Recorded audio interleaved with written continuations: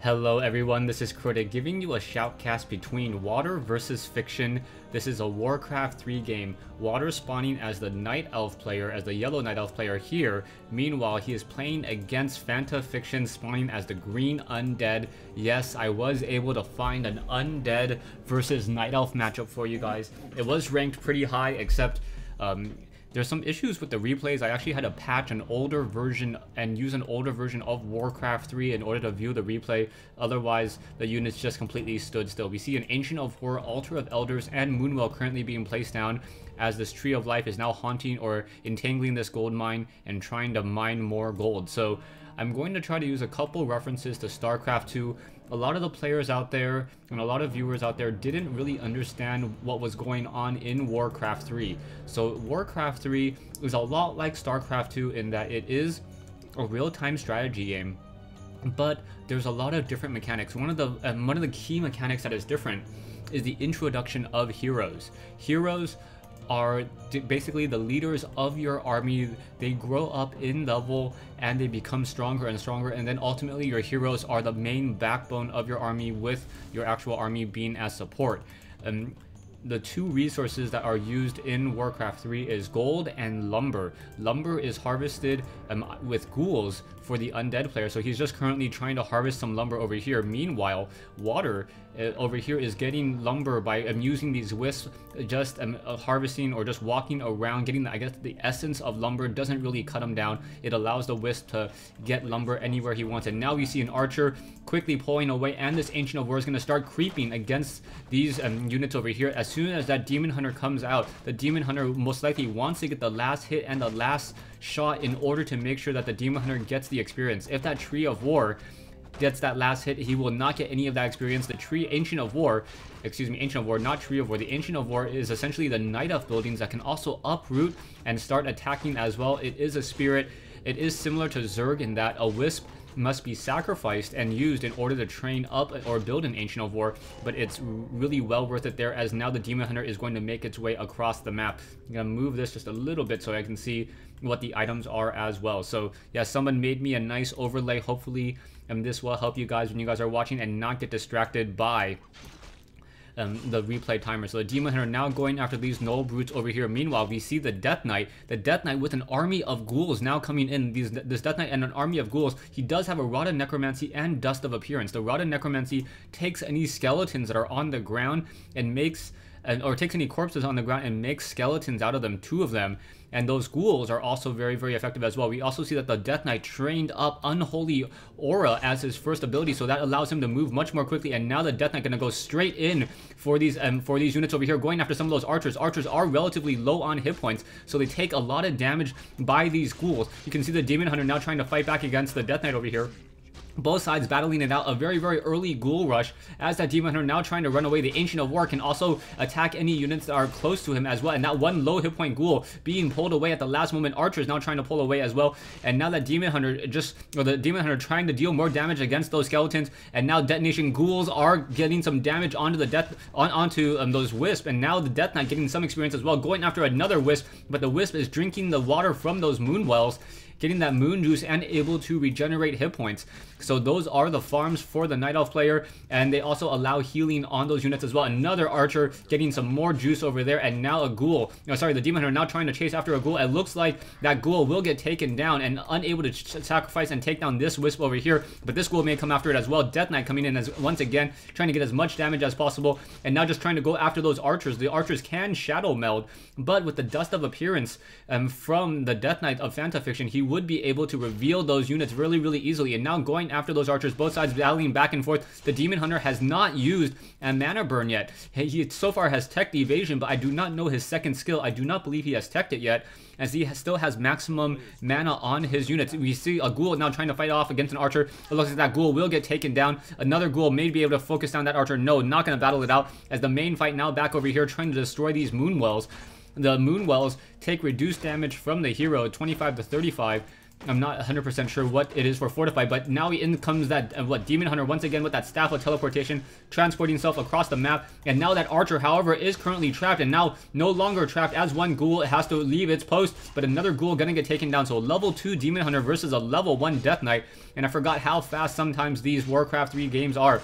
So the Death Knight now trying to go after those lower hit point archers, and it looks like he's going to be able to block that. No, unable to get that one archer once again, trying to run around. It looks like that one archer just drinking as much juice as possible, trying to stay alive, and those um, skeletons finally able to take it down, and the Death Knight at 162 hit points will be able to escape the blades and the glaives of that Demon Hunter.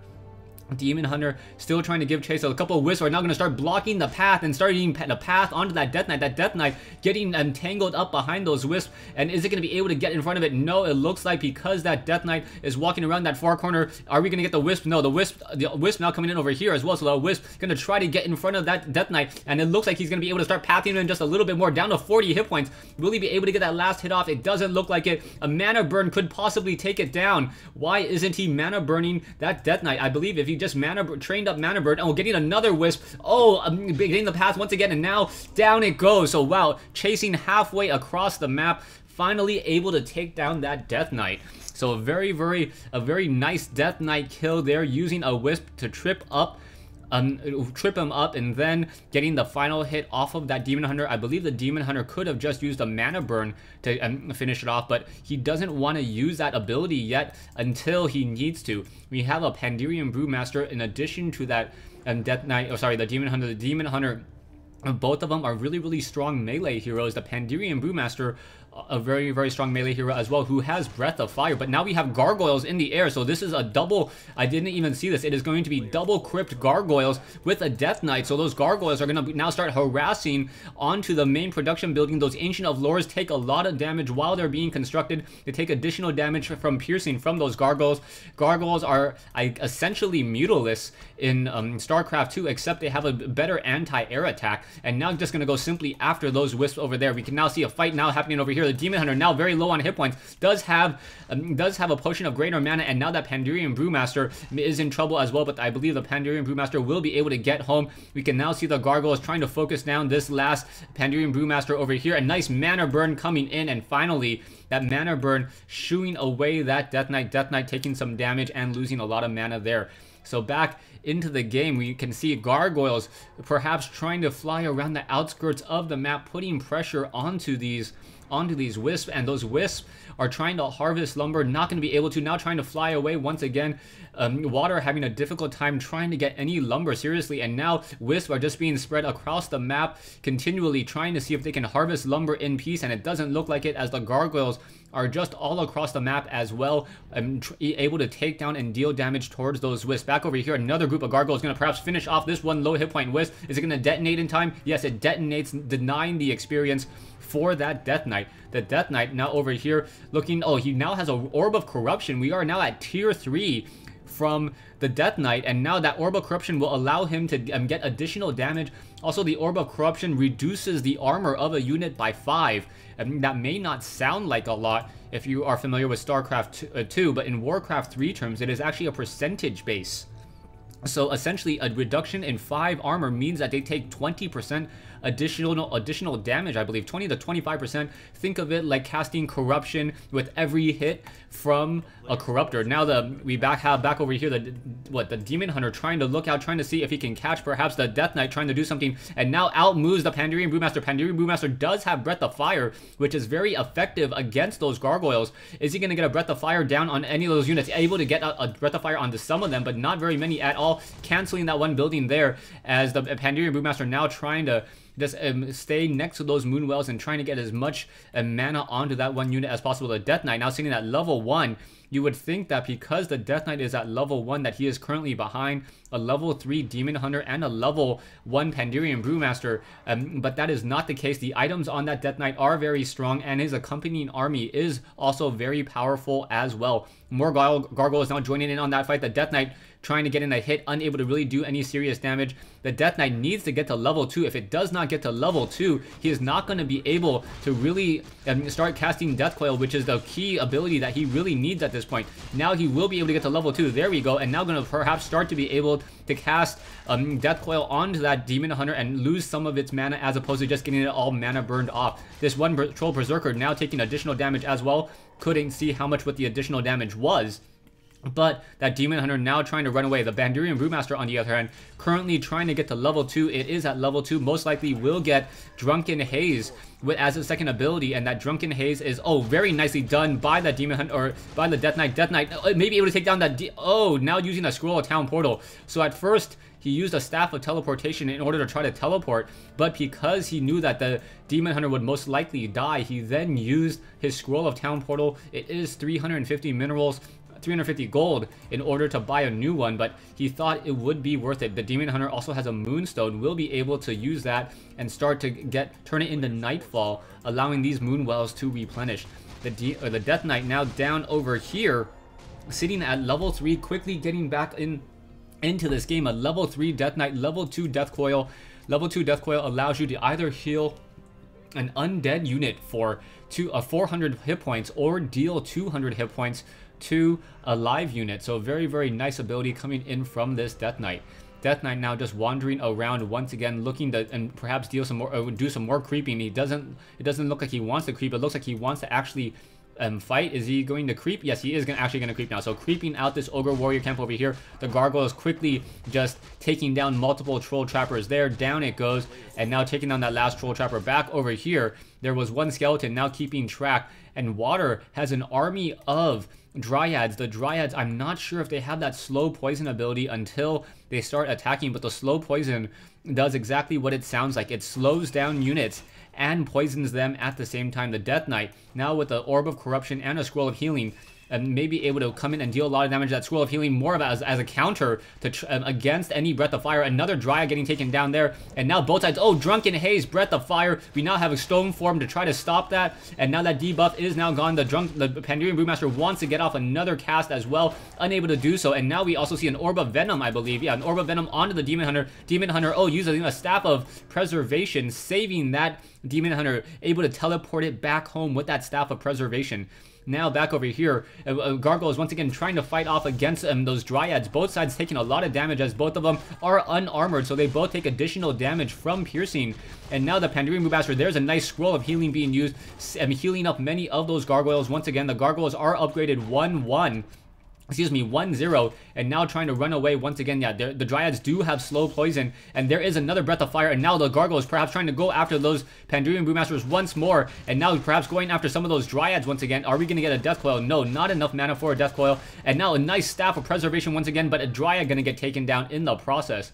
Water taking a lot of losing a lot of units and giving a lot of experience to that Death Knight. If that Death Knight gets to level 5, that will become really, really bad um, for the Night Elf player, as the Night Elf player will not be able to deal with a level 3 Death Coil all too well. Level 3 Death Coils, I believe, almost instantly kill an Archer. Um, I'm not 100% sure how much resistance damage that they get, and now, there you go, also buying a Potion of Invulnerability, killing that pig just because it got in its way. Death Knight now still on the move, looking across the map, looking to see if he can gain any more experience. As you get higher and higher up in in in, in level, it takes more and more um, creeps in order to um, level up. Also, as you get higher up, then you you take a percentage hit, so you get reduced experience from these creeps as well. I do not believe the Death Knight will get to level 5 unless he gets a Tome of Experience. It doesn't look like it dropped. It looked like it was a Tome of Agility plus 2, or perhaps a Tome of Strength.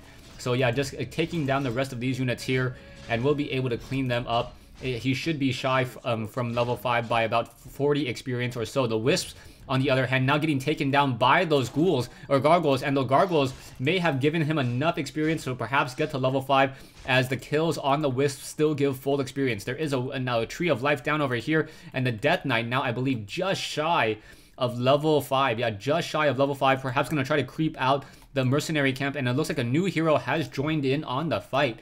A level 1 Lich now joining in, perhaps going to cast Frost Armor. Frost Armor, a very nice ability, slowing down units, and now giving the Orb of Corruption to the Lich. The Orb of Corruption on the Lich helps out tremendously as in the the uh, Lich is able to have a range attack, and now also with the Gloves of Haste, also able to, if that one Lich is able to attack different targets, give minus 5 armor to multiple units, and now a Shade following the Demon Hunter. The Demon Hunter is still at level 3, and now the Death Knight at level 5, and the Lich halfway to level 2 already. Things are looking good and promising, but Water now nearly completely setting up with this Tree of Life, and you can also see Water purposely leaving his Dryads nearby just so that he can um, protect that from protect that expansion from those gargoyles. Back over here, the Lich should get to level 2 with relative ease, taking down this Renegade Wizard, a level 5 creep. A Ring of Regeneration has dropped. It gives 2 hit points a second for regeneration. You can see how fast it is there and how difficult it would be to try to take down that unit. Gargoyles, no, sorry, Death Knight now at level 5. Lich currently sitting at level 2. A lot of gargoyles in the air. They are only upgraded 1-0 at this time and now dealing 19 to 25 damage per attack. Shade still following the rest of this army. The Dryads do not have any armor upgrades or any weapons upgrades, so the main damage is going to be from the Pandirian Brewmaster with his Breath of Fire. Level 2 Breath of Fire, very, very critical in this fight. And oh, the Obsidian Statue a little bit out of position there, and now getting a Frost Nova, and oh, the Demon Hunter a little bit of trouble. Staff of Preservation does save it, and now the Gargoyles may be able to just start poking and uh, start picking apart some of those Dryads. Dryads now down to 124 hit points. The Staff of Teleportation coming back, and both sides trying to engage. Gargoyles going down and coming back up, and there's that Scroll of Town portal on the Pandirian Brewmaster. Both sides trying to fight it out. The Death Knight getting a little bit of kills, but not too much. The Obsidian statue if you do not know what an obsidian statue is, think of it as a medevac on steroids. And it continually casts heal. It doesn't, it is not able to pick up units, but the Obsidian statue is able to heal, I believe, up to six units at a time. Um, I need to read the tooltip, but I don't have it down here. But yeah, the Obsidian statue does, is able to heal a lot of units at the same time. And now we also have Abominations. So Abominations, very, very strong meat units coming in from the Undead player, and very strong against those Dryads. Dryads in general cannot have a difficult time trying to focus down an Abomination since that Abomination can absorb so much damage.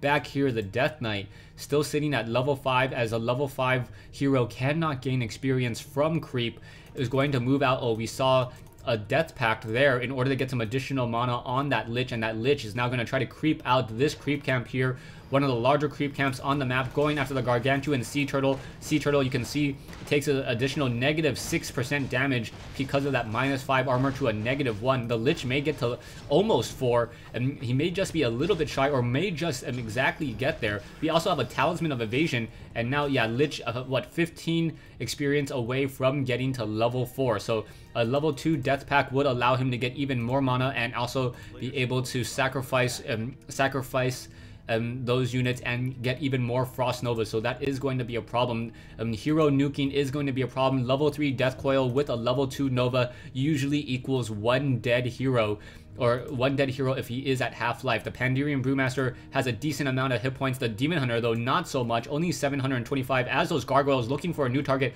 and an Orb of Venom attack, allowing that Blade Master to fight. And now in comes this fight, and oh, there we go, there, Potion of Healing. And now we, uh, I believe, lost that one statue over there. Both sides continuing to fight. Level 4 on the Lich now. Are we going to get a surround? Oh, the Potion of Invulnerability being used. And now another mana burn onto the Lich, and now going into stone form back up into the air. Staff of Preservation saving it, but the Pandirian Brewmaster may have to use the Scroll Town Portal one more time. Very low on hit points. There we go. Finally using it, and now picking off even more of those units. Once again, the Pandirian Brewmaster down to 51 hit points was able to escape three abominations now and wow fiction having a decent size army 59 over 70 so he is currently getting taxed on his gold. Same thing with Water. Water also getting taxed on his gold as well. And now his expansion is also getting hit as well. So double of these ghoul or abominations are now trying to come in, trying to get some damage. We have this obsidian statue just casting heal across multiple units, able to heal the abominations and all those units at the same time. And now the abomination trying to come in. It is getting slowed down.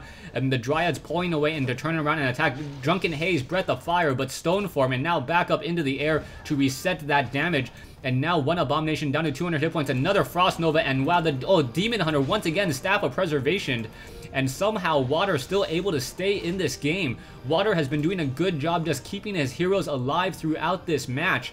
And now, um, what Water now uh, will finally be perhaps able to take down one Gargoyle at least, but I believe the the Tree of Life will get taken down. Yeah, Tree of Life now taken down over here, now to 11 hit points. Another Drunken Haze back up into the air. The Tree of Life is at 11 hit points. One more attack from the Abomination takes it down, and down it goes. So things are not looking good at all for Water.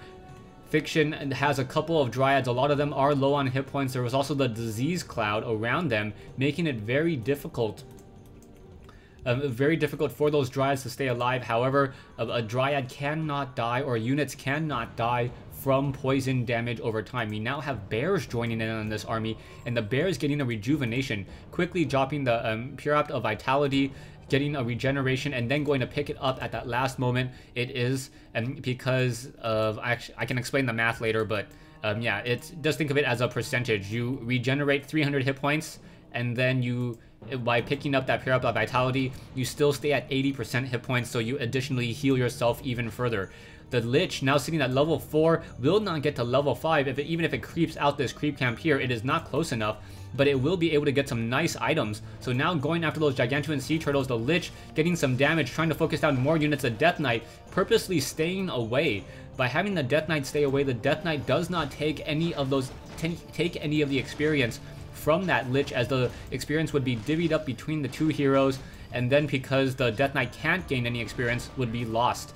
So that Lich now sitting at level 4 also has a scroll of healing as well. We may see a death coil on the, yeah there we go, onto the Lich, healing it back up to full hit points once again and I believe it is just a matter of time before Fiction moves out. We can see an Acolyte laying in wait, ready to summon and haunt another gold mine here in order to get more more gold as we are almost out of gold at the main base. Another minute or, or two minutes or so and the main bases will be mined out. The Dryads and the, uh, the Dryads, the Pandurian Brewmaster, and the Demon Hunter looking for more experience by cleaning up some of the creeps will not be able to. And now the Bears are in this fight, so Bears now battling it out, and we also have Destroyers as well. So the Destroyers are going to be able to deal some damage and significant damage, but it is going to get taken down perhaps by those Dryads. Gargoyles in the air trying to fight back, but those Breath of Fire not hitting their targets. Both sides battling it out, and now down go. No, both sides are just taking a lot of damage back and forth. Dryads, a lot of counter units. It, it will probably just depend on hero levels, which Fiction does have a superior advantage at right now and now multiple bears. Oh, it's continuing to be Staff of Preservation, and now Abominations are finally getting taken down. Demon Hunter at level 3 is very low on hit points, and now make it to level 4. Level 4 on the Pandurian Brewmaster, and he does have a potion of a, a Scroll Town Portal, so he may be able to save himself. Is he going to perhaps try to use that Scroll Town Portal and save himself? Let's turn around, getting a Breath of Fire off onto those Gargoyles, and now trying to run away once more. There's the Scroll Town Portal. The Dryad should be trying to run away. Maybe they will live to fight another day, and oh, barely able to survive just barely avoiding um, the attack of those gargoyles. So a lot of damage has been dealt to those um, dryads, though. Dryads are low on hit points, and the army size of water down to 35, food over 70 fiction having a large amount uh, having a large food army 64 over 70 and now attempting to haunt this gold mine on the bottom right hand side of the map i believe fiction will be able to take this game it is just a matter of time hero levels economy and army size all are in favor of fiction so fiction should be able to finish this off back over here. And where is this Lich? The Lich is already at level 5. He cannot get any additional experience at this time. The creeps are just going to give some um, gold to the armies, allowing for the additional training of units. And Fiction, as long as he waits, as long as he doesn't overextend himself, gets perhaps one to two statues, you know, obsidian statues, and is able to heal up this army, should be able to attack and go for the win.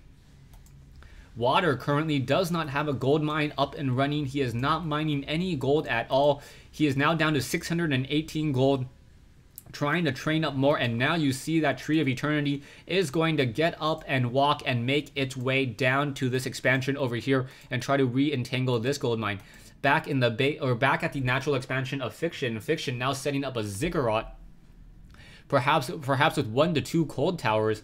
And with those cold towers and Nerubian towers, we'll be able to defend this place quite easily. There is no necropolis though, so without a necropolis, he will not be able to teleport and save this expansion all too easily. You can see Fiction now upgrading to a Nerubian tower. He is sitting on a um, what 80 gold so far, and that's 70, 69 over 80 food. So he still has a little bit of room, breathing room before he hits high upkeep. Normally, um, players never go into high upkeep. A Shade is now spotting this Tree of Eternity, trying to make the long walk to the south side of that base.